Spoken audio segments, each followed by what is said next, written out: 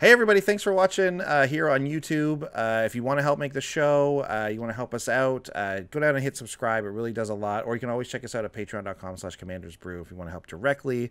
It's a real big help. And don't forget to check out Battle of the Brews right here on YouTube and tell your buds. Uh, but without further ado, we're going to get to today's huge deck tech. It's a brand new card from a brand new set. Uh, it is Rienne, Angel of Rebirth. Uh, I believe Rienne is the Buy-a-Box promo uh, from the current set M20, and she is a bit of a house, a bit of an engine, and uh, a really cool commander in these colors that we like the likes of which we have not seen essentially uh, what she does is she comes down uh, she gives them all their multicolored creatures uh, plus one plus oh and then when another multicolored creature dies we're going to be able to return it to our hand at the beginning of the next end step. So a lot of value here in sacrificing creatures, uh, uh, sacrificing other creatures, uh, letting our creatures die, and all that sort of stuff, and getting that value engine rolling. Uh, so just to start us right off, Sean, what do you think?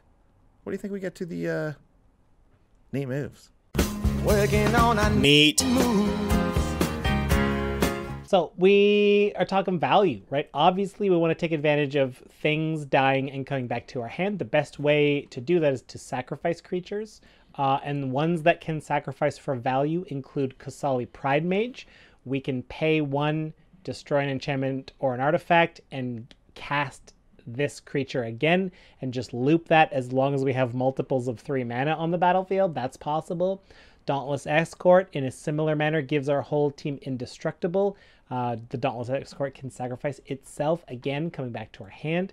We got and we got Saffi daughter, which is like if you've played against Saffi daughter, you know that there are some brutal moves you can do, like Saffi daughter plus Sun Titan. Like you can do some like brutal stuff to just bring things back as uh, things are put into your graveyard. So instead of going to your hand, Saffi can like make it go right back into play. Saffi's al- Saffi herself will also go back to your hand if Brienne is in play. Yeah, and it's important to note that uh, uh, not Brienne, although Brienne of Tarth. Oh, did I say would Brienne? Be a, would be a cool magic card. Uh, Rienne of Rebirth. Uh, she doesn't do like you don't get the cards right back to your hand right away, right? Like you do have to wait till the next end step. That's so, true. So so that's but that's just where the value for, for Saffi comes in is that you can have something die and then have it come back to the battlefield right away. So you can like it's battlefield uh, and you get it right away. So that's that's pretty nice to be able to like speed that interaction up. Uh, those creatures all sacrifice themselves, uh, but we've also got a couple of, of uh, neat creatures that uh, sacrifice other things. So uh, Brion Stoutarm and uh, Thromok the Insatiable are two really good ones. So Brion gets to do it with by tapping and paying red, and it's got the lifelink, and it kind of flings these big creatures. And Thromok can become that big creature for you, and then also bounce back. But it's also like a sack outlet because it has Devour X, where X is the number of creatures you control that you devoured this way. So like, if you devour any whatever the number is, you just it's squared. That's how many uh, plus one plus one counters Thromok gets. So Thromok gets real big, uh, real quickly, especially since there's also um, some creatures with uh, death triggers, uh, specifically that make us some tokens like these ones. Yeah, so we got Voice of Resurgence in here. Uh, this you'll recall this is the only good card from Dragon's Maze. Uh, well, so we're getting tokens, and these tokens are green and white. These are multicolored tokens that do get pumped by Rienne.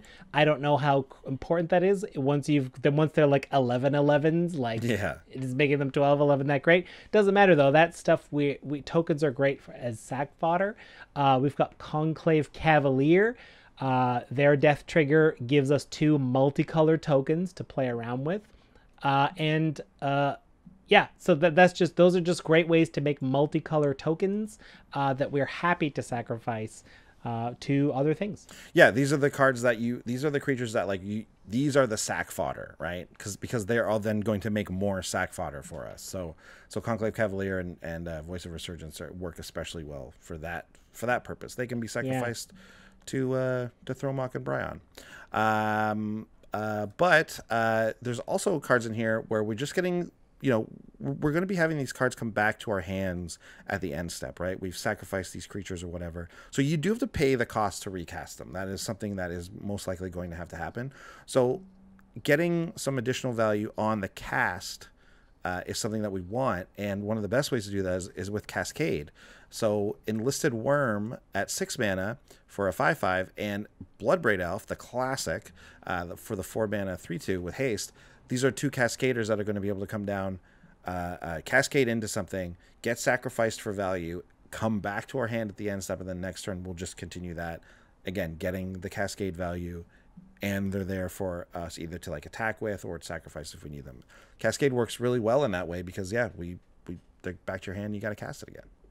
Yeah, yeah, yeah, great. Like, like I'm happy to recascade every turn. Yeah. Uh, we are also running like ways to kind of get more tokens. Like Rienne giving tokens plus one plus zero. I mean, that's not what she does, but if we can create enough multicolor tokens, giving them all plus one plus oh, we can get a pretty threatening, pretty wide, scary board.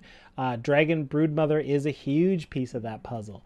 Uh, spoiler alert: it is one of the more expensive cards in the deck, but uh, I think you get what you pay for here. It's it's obviously market adjusted fairly because mm-hmm. getting a four four flyer is great, and then each upkeep. Well, I always assume most commander games are four players, so we're getting three tokens with Devour two every turn. That's six one. They're, they're all two one flyers because of Rienne, but they all have devour two so like when it gets back to our turn we can make the last one devour a couple of the earlier ones or heck a couple more. That's the beauty. The second la- like the one on the turn before us so the player to our right gets an upkeep and we get to make another dragon and decide. It's like oh I see someone who has no flying defense right now. What's your life total? Oh, it's in the 20s uh, yeah, I got enough tokens. I can sack enough to this one last dragon and make that big enough to just kill you now if you don't have an answer. That's an option with this card. Uh, nonetheless, it's very strong, making multicolor tokens. Another great card to make multicolor tokens is Xenagos the Reveler, the Planeswalker. That's Xenagos' zero ability, but like the plus ability also so relevant in this yep. deck because having all these creatures back to your hand, we want to spend 35 mana every turn. yeah, exactly. so like this deck cannot get enough mana. So uh the plus one ability is not like it's it's two highly relevant abilities. The minus six, the ultimate, we usually can discount those in commander because I mean most of the time the table won't let you get to them. Uh in this case though, it is has a use. Like we, in seven cards, we're gonna find a lot of creatures and lands. So yep. like would I still? I still probably going to spam my plus one though. I, d- yeah. I can't imagine where I would would rather do that. Yeah. Uh, and then Conclave Cavalier, as mentioned before, that's another great way to get multicolor tokens. And although these tokens aren't multicolor, Hero of Precinct 1, the whole deck is multicolor. So we're going to be casting multicolor spells. We're going to be getting a lot of 1 1 white human creatures. Yeah, and those tokens, whether they be multicolored or not, still serve a really great purpose in our deck as sack fodder for our uh, devour creatures or anything else that, that wants to sacrifice creatures because we have a lot of uh, of that kind of stuff in the deck. So you're going to be happy with just with just random tokens on the board, even if they are just one one white uh, human creature tokens. Yeah. Um, so you know, I, we talked about it a little bit about it with the cascade, but we're gonna get these creatures back to our hand, and sometimes you know you want to cast two of them out at the same time, but like they both cost six mana or something. That's a lot. So it's gonna be very important for us to a ramp obviously in commander, but also just to cheat that mana cost, right? Just just let's just do something where we can just put this onto the board. So we've got a couple of ways to mitigate that mana cost. Uh, uh, number one is Elvish Piper. The it's uh, the you pay a green and tapper to just put a creature onto the battlefield. So you can do this at instant speed, uh, as well as you're not paying the full mana cost, obviously, and it actually gets around like counters and stuff, which is like just an added bonus. But you're obviously not paying five or six mana for whatever it is. Um, uh, similar cards in Dragon Arch and um, uh, Quicksilver Amulet. Uh, those are both cards that allow us to pay a certain cost, tap tap the artifact that they are, and put uh, these things onto the battlefield. So Dragon Arch allows you to do it to a multicolored creature, and then just Quicksilver Amulet lets you do it to any creature. Uh, and then there's also Urza's Filter, which is uh, a four mana artifact that says multicolored spells cost up to two less to play. So that's just going to be like an automatic Sol Ring on all your multicolored creatures, uh, which is sweet. It's really nice. Like we've got the mana in here to be able to be using them for the for the for the multicolor costs, and then just like mitigating it and making it only cost the colored mana is great. And I just want to point out like, if we're talking about our Cascade creatures, the game still recognizes their casting cost as the full amount. So if you are able to play a Bloodbraid Elf for just green red, you still get to hit three drops with your Cascade trigger. Yeah, that's pretty nice. Of course, uh, speaking of Cascade, Dragon Arch, Quicksilver Amulet, and Elvish Piper, you will not get to Cascade if you use That's right. those abilities. You're not casting the 'cause you're not spells casting the those. spell. Right, right, right, right. But still very, very good to, to be able to, you know, lessen the mana cost, uh, uh, change the mana cost essentially when you're talking about like paying two colorless or four colorless. Like now you don't have to worry as much about the multicolor cost of it. And to be able to do it at instant speed, these are great cards. Yeah. Uh, Andy, what a cool deck. Uh, Rienne seems kind of busted. I noticed there's not really a price for her right now. Yeah, Like, it's, I tough, think it's we- tough to find a price for her. Yeah. So, I mean, I think she might be expensive out of the gate, but uh, I would. I this is, seems like a really fun deck. I think uh, it's exciting to me. Did you have any surprises and discoveries while putting it together?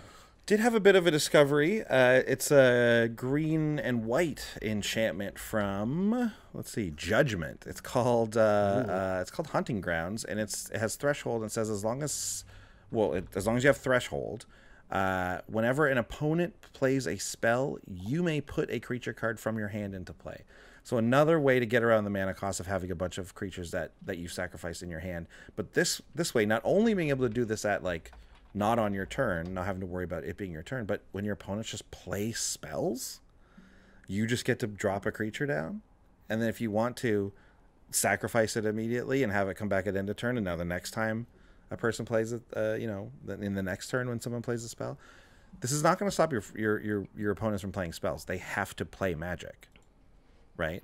So, I mean, maybe the first spell will be to destroy an enchantment, sure, but they're going to have to do something about it. Now, the threshold part is the hardest part to make happen. Rienne is obviously going to keep your creatures out of the graveyard, uh, but that being said, like Rienne's not going to be on the battlefield all the time. There will be stuff in your in your graveyard, and it just uh, just seven or more cards. I mean, that's just not that hard to have happen in in uh, in EDH. So, I think Why is this can run card this- not more expensive? I think just because it's only in green white. I think that's why. Like it has to be a green white deck. There are similar cards in just mono green that like are of similar price, I guess. So like I guess hunting grounds maybe isn't as sought after. I don't know. Seems very good. I know it seems really good. You gotta hit that threshold, but like if you do, but you gotta keep the card draw coming. That's another thing, right? Like hunting grounds is only so good because like oh I paid played three spells. Well I only had two creatures in my hand, so I dropped them for free. Yeah, that's awesome. But now what's going on, right? Now it's not doing anything. Right. That's probably another reason why. So usually you have to keep drawing cards, but in our case, Rienne gets them back for us. It's great. Very nice. Um, let's do the budget report. We will take all of the cards and see how many colors of bills you need to use to buy them. And if it's more than one, we're good. We're good. So this deck came in at around $160. Um, you can go to various sources and find different prices, but that's around where we're gonna we're gonna land for this. Which and uh, honestly, for the card the card quality level that you have in here, it's not that bad. Um, it- there are some ways to mitigate that price though. Uh, starting with the number one most expensive card, which again it depends on where you look. Like like where we had it, which is uh, uh, MTG Goldfish Birthing Pod. Uh, it's looked to be the most expensive card. It's around like 12 dollars. Amazing card, obviously, great value, great sack uh, uh, uh, outlet. Um, yeah, Phyrexian mana unlikely to be to be printed again. So you know, paying 12 or 13 dollars for it is just might it just might be what you have to do to get this card these days. So there's that. Um, we also have Dragon Broodmother though, which the pre-release uh, like foil is around 12 or 13 dollars but the regular is like 17 and even up to like 20 dollars so this is probably actually the most expensive card in the deck but anyways re- uh, regardless like it's it's a great card this does everything you want to do in the deck uh, it's really really good and finally there's voice of resurgence which is around 7 750 uh, which is like it's replaceable. A lot of these cards aren't as re- super replaceable in this in this deck because multicolored uh, cares about like dying, cares about some tokens in some places. Like these cards aren't. There's not a lot of cards that do all that stuff. So to find them is nice. Uh, so they're not super replaceable. So that's why I'd say like if you're gonna cut cost here, the birthing pod and the voice of resurgence are the most easily replaceable. Dragon Broodmother is a very unique card, and if if any if you're gonna splurge for any of the cards in this deck, I'd say that should be the one. Nice. Uh, Andy, what's your favorite card in the deck? My favorite card is easy. Tome of the Guildpact, five mana for the artifact that says, whenever you cast a multicolored spell, draw a card. No problem. I'd Yeah. love to. And it also you can also tap it for mana of any color. It's great. Does Yeah. everything. Ramps you, draws you cards, cares about multicolored. Love it. Yeah, and once you? you? consider, yeah, once you consider we're dropping cards from our hands for free or cheaper, that's amazing. You're casting stuff, right? You're casting those cards again, so you're gonna draw a lot off of the tome. Yeah. Uh, I am looking at Evolutionary Leap. This is sort of a cousin of Birthing Pod. Uh, I think sacking all of our tokens to turn them into legitimate creatures Yep. is amazing. Uh, and we're going to just have a full hand of cards to decide what to cast and what to like keep that engine rolling. Yeah, good Brienne's cool. Brienne is very cool, very unique. Love the ability, love the color combo. Like it's it seems like a very different Naya deck to me, right? Like yeah, we've got some token theme and yeah, we've got some big creatures, like which is generally what Naya tends to do in Commander. But this other angle of like the reanimation, uh, as you said on the audio show, Reanimation. right? Like that that angle it, in these colors, we just don't see it that often, and it's it's great. I love it. cool. Very, very cool. Yeah. So that's it. Thanks for watching this week. Um, remember to check out Battle of the Brews right here on YouTube. Um, check out all the other stuff we got going on. Uh, thanks for listening, and uh, we'll see you guys next week. Bye. Bye. Big thanks to all our patrons who make these episodes possible. Yeah, and if you want to check out more comedy videos, check out our Brews News playlist. Make sure you follow us on Twitch TV to see when we play live. If you want to chat with us, head over to Twitter. We're at Commanders Brew. And please hit subscribe to Ding the Bell and find out when we got new stuff coming out. See you next time. Bye.